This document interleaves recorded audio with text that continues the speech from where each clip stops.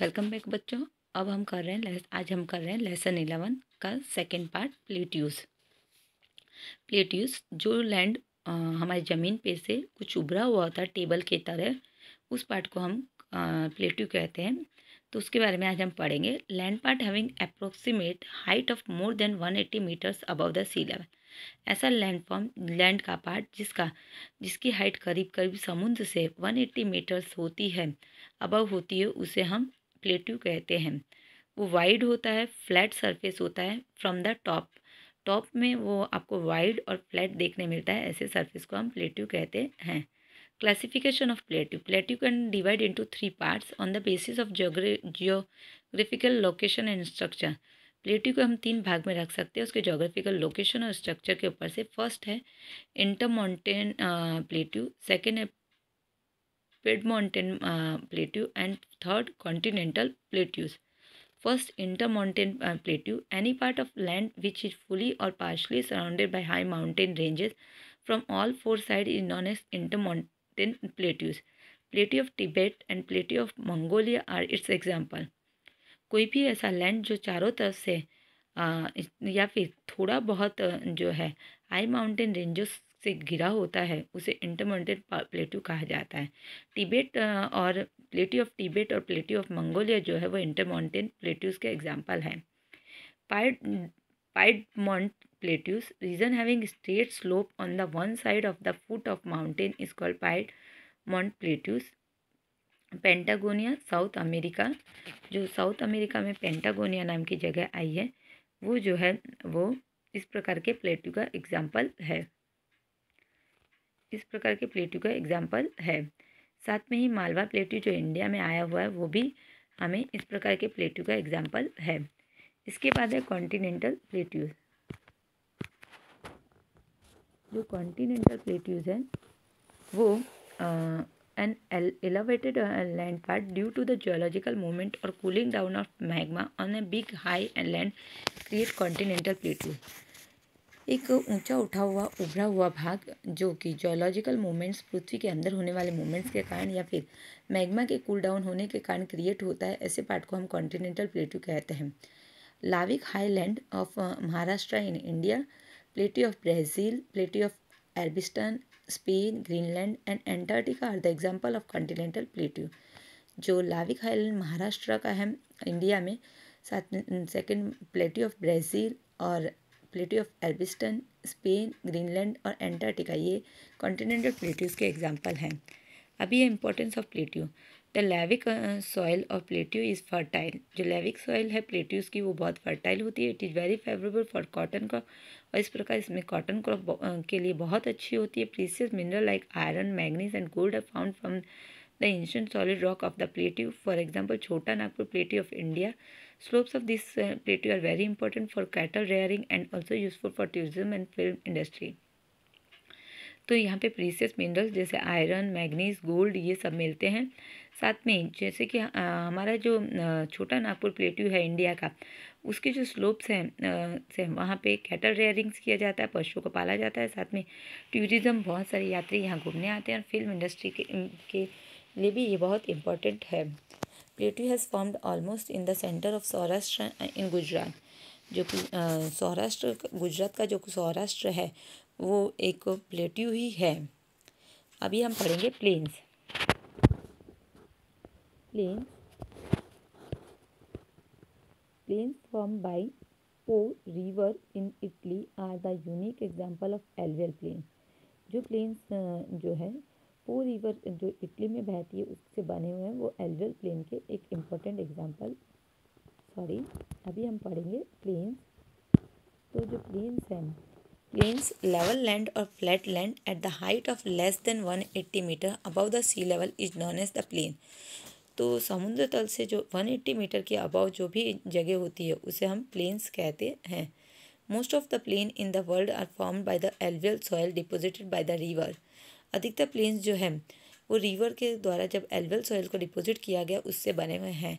Apart from the river some of the plains are also form by the wind and volcano and glacier इसके अलावा कुछ planes जो हैं, वो reverse और वो विंड वॉल्केनो और ग्लेशियर के काम के कारण भी बने हैं। Classification of plain on the basis of construction plains can be classified as plains के बनने के जो कंस्ट्रक्शन जो प्लेन्स का हुआ है बनावट है उसके आधार पर हम प्लेन्स को तीन भाग में बांट सकते हैं कोस्टल प्लेन इरोजनल प्लेन और डिपोजिशनल प्लेन पहला प्लेन है, वो है coastal plain such plains are mainly form near the sea shore ऐसे प्लेन्स अधिकतर समुद्र के किनारे पर बनते हैं। The end of continental part of land near sea shore is uplifted due to the geological movement जब भी कॉन्टिनेंटल पार्ट जो लैंड जो समुद्र के किनारे को होता है, वो उभर जाता है जोलॉजिकल मूवमेंट्स के कारण। तो इस प्रकार के कोस्टल प्लेन्स बनते हैं। Such plains are known as structural plain ऐसे प्लेन्स को हम स्ट्रक्चरल प्लेन भी कहते हैं। This type plain are often found ऐसे प्रकार, इस प्रकार के जो प्लेन्स हैं, वो अधिकतर इस प्रकार के जो प्लेन्स हैं, वो अधिकतर हमें, इस प्रकार के जो प्लेन्स हैं, वो अधिकतर इन कोस्टल रीजन्स वो कोस्टल रीजन्स में मिलते हैं। Plain situated in the south east part of United State of America spread up to the Gulf of Mexico जो plains south eastern part United State of America से जो Mexico तक फैले हुए हैं, वो हमें कोस्टल प्लेन्स हैं। Erosion which occur in the bottom of the land create such plains और इस प्रकार जो इरोजन होता है बॉटम में ऐसे प्लेन्स के, वो उनके कारण हमें कोस्टल प्लेन्स बनते हैं। Plains in the centre of Australia is form in the same man और जो सेंट्रल ऑस्ट्रेलिया का जो प्लेन्स है, वो इसी प्रकार बने हुए हैं। Erosional plains erosional plains process of erosion goes on the continuous on the surface of the earth हमें पता है कि जो मिट्टी का कटाव है, वो लगातार होता रहता है पृथ्वी के ऊपर। Such plains are form due to the erosion और इस प्रकार जो है प्लेन्स बनते हैं इरोजन के कारण which occur in the mountain and plateau because of natural factor like river wind and glacier और ये जो इरोजन है वो लगातार रिवर विंड और ग्लेशियर्स के कारण होता रहता है। This type plains are not completely flat इस प्रकार प्लेन्स जो होते हैं वो फ्लैट नहीं होते हैं।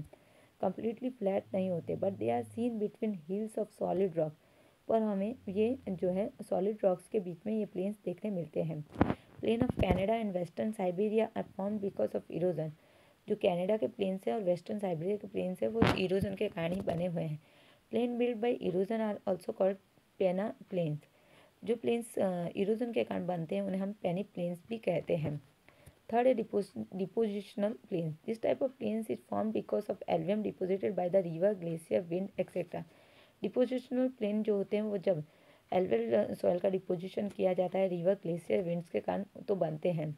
इन लेक्स और seas, such plains are called depositional plain and also called river river river Rhine plain.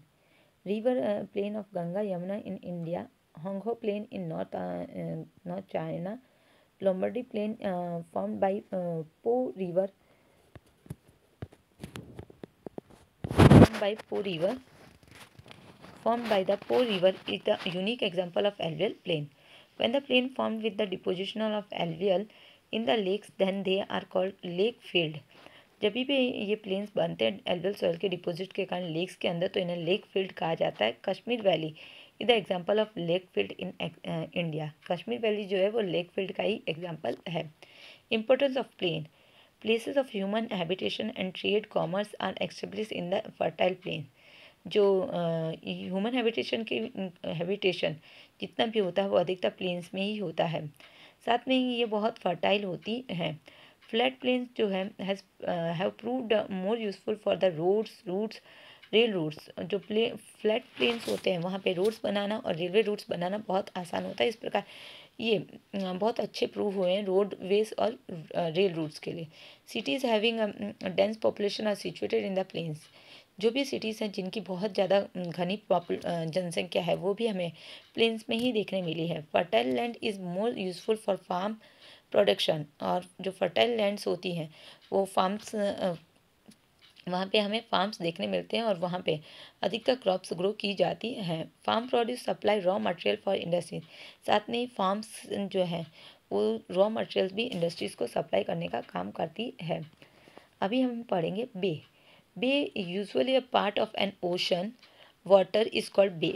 एक जो ओशंस के वाटर बे जो होता है, वो ओशन का ही एक ओशन जो होता है, उसका ही एक भाग है, ओशन के पानी का ही एक भाग है। दे टेक शेप, वो एक शेप ले लेते हैं, like huge and white lake. वो एक बहुत बड़ी लेक के समान दिखाई देते हैं, जिसके चारों तरफ़ एक लैंड होता है। The bay can be large and small size. Bay जो होता है, वो एक बड़ा और एक छोटे साइज़ कभी कभी वो बहुत बड़ा हो सकता है और कभी कभी वो एक स्मॉल साइज़ में भी हो सकता है। Bay of Bengal in India is the best example of it bay of Bengal जो है वो इंडिया का, वो इसका बेस्ट एग्ज़ाम्पल है। उसके बाद है gulf when water area is surrounded by the land from three sides जब वाटर एरिया तीन साइड से घिरा होता है लैंड से तो उसको हम गल्फ कहते हैं। Gulf of Khambhat and gulf of Kutch जो इसका बेस्ट एग्ज़ाम्पल है। उसके बाद है cape cape is perpendicular end of land that extend into the water body cape जो होता है एक परपेंडिकुलर एंड होता है लैंड का जो कि वाटर बॉडी के अंदर फैल गया होता है। It also can be known as sea line उसको हम सी लाइन के रूप में भी जानते हैं। इसका एग्ज़ाम्पल है इंडिया का कन्याकुमारी और अफ्रीका का cape of good hope last जो है वो है आइलैंड आइलैंड जो होता है एक पीस ऑफ़ लैंड होता है जिसके चारों तरफ़ जो है जिसके चारों तरफ़ जो है सम, समुद्र होता है। एक पीस एक नैरो पीस ऑफ़ लैंड जिसके चारों तरफ़ समुद्र होता है, उसे आइलैंड कहा जाता है। लास्ट है पेनिसुला पेनिसुला ज़मीन का एक ऐसा भाग होता है जिसके थ्री तरह थ्री साइड में जो है हमें वाटर देखने मिलता है। तो इस प्रकार ये चैप्टर हमारा यहाँ पे फिनिश होता है। हमारा जो साउथ इंडिया है, वो जो है उसके बाद सौराष्ट्र जो है, वो पेनिसुला का एग्ज़ाम्पल है। अब हम कुछ ऑब्जेक्टिव्स यहाँ पे करेंगे। सबसे पहला ऑब्जेक्टिव है Satpura of India is blank type of mountain तो आंसर आएगा block mountain second piece of land surrounded by mountain range from all four side is called inter mountain mountain plateaus okay third है flat piece of land having average height from the sea level is called plain तो approximate up to one eighty meters वांग हो plains is a blank type of plain तो answer आएगा fourth का depositional plain question three recognise me I am surrounded by the land from three sides तो answer है gulf second my end extend out into sea up to the certain extend तो cape third है I am known as island तो मैं एक island हूँ। तो मैं कौन हूँ? A land of piece surrounded by water from all side fourth I connect to water areas तो आंसर आएगा स्ट्रेट मैं सारे वाटर एरियाज़ को जोड़ता हूँ। तो आंसर टू वाटर एरियाज़ को जोड़ता हूँ तो strait fifth I have sea sea on my three sides मेरे तीन साइड में समुद्र है और एक साइड लैंड है। तो आंसर है पेनिसुला तो यहाँ पे लेसन हमारा फिनिश होता है बच्चों thank you have a nice day